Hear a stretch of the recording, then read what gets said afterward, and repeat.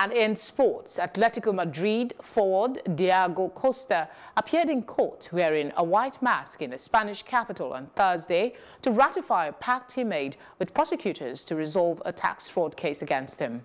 Prosecutors were asking for a six-month jail sentence and a fine of 507,280 euros to punish Costa for defrauding the Spanish state of 1,014,416 euros in 2014. According to a court filing published last month, 31-year-old Costa did not declare payments for 5,150,662 euros, euros from his 2014 transfer from Atletico to Chelsea in his tax return, as well as more than 1 million euros in image rights. In accordance with Spanish law, which allows penal sentences below two years for non-violent crimes to be exchanged for a financial penalty, Costa has agreed to pay an additional fine of 36,500 euros on top of the original amount to avoid jail time.